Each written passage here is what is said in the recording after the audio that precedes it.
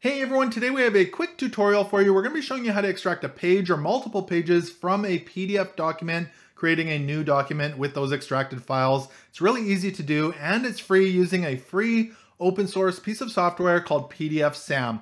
But hey, if you're new here, my name is Ken and this is Northern Viking Everyday and we bring you videos on reviews and how-tos, so please consider subscribing so you don't miss out on any upcoming videos. Let's go ahead and dive right over to my computer, get right into extracting pages from a PDF.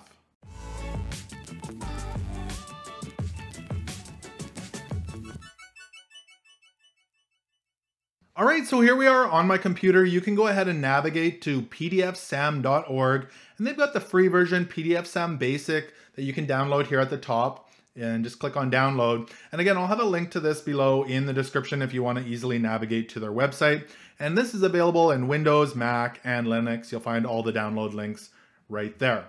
All right, so once you've got PDFSAM Basic installed, it's gonna put a little icon on your desktop here. You can go ahead and load up PDFSAM. And once you've got it loaded up, it's gonna give you a whole bunch of free options here at the top. So split, merge, split by bookmarks, extract, that's the one we're gonna be using today.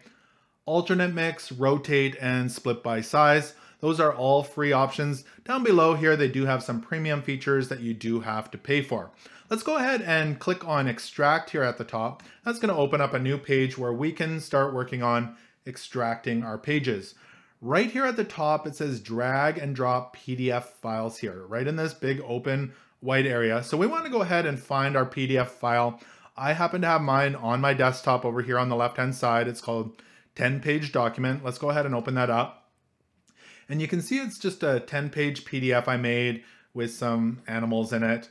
And we're gonna go ahead and extract a couple pages from this into a new document. So that's the file right there. So let's go ahead and drag that file over and drop it in this big open area here at the top. And you can see it loads it right in there. So it's got the file name, it's got the file size, as well as how many pages there are in that file. The next thing we need to do is go down here and select which pages we would like to extract into a new PDF. So there's a few different ways to do this. If you have single pages, you would just type in the page number and put a comma after it. So maybe we want page two and we'll just put a comma space, page four, comma, space. But if you want to select a whole bunch of pages in a row, you can also do that right here. So maybe we want pages six to nine. So you would type six dash nine. And so we have all our pages selected here. We've got two comma, 4 comma, and 6 to 9. From there, we need to select our output settings. So there's this is where your file will go once it exports it. So I've got mine set right now to the desktop. If you have a different place you'd like to select, you can easily type that in there. Right below that, it's gonna give you the option to create a prefix. So right now it's set to PDF SAM.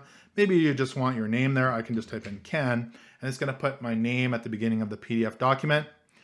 And we are all set to run this. So let's go ahead and click run here in the bottom left-hand corner. You can just go ahead and left click on that. The other thing that's gonna pop up is what would you like to do in case the file exists already with the same name? So you can overwrite your file if you want the old file to be gone. You can rename it or you can skip it. I'm just gonna select skip right now because I know I've got a new name there. And once we hit skip, I hear a little ding and that means that it's already exported and done. So let's go ahead and um, minimize this and it should be right here on my desktop. You can see it's got the new prefix with Ken at the beginning. Let's go ahead and double click on that. And it now should be a new PDF with only the pages we selected. So page two, page four, and pages six, seven, eight, and nine, and it's missing page 10. And it's really that simple to extract pages from PDFs here for free in PDF SAM Basic. So I hope this video was able to help you out in extracting pages from your PDF documents. If it did, make sure to give this video a thumbs up. Also remember to connect with me on social media. You will find all those links below in the description. Thank you so much for watching today and until next time, take care.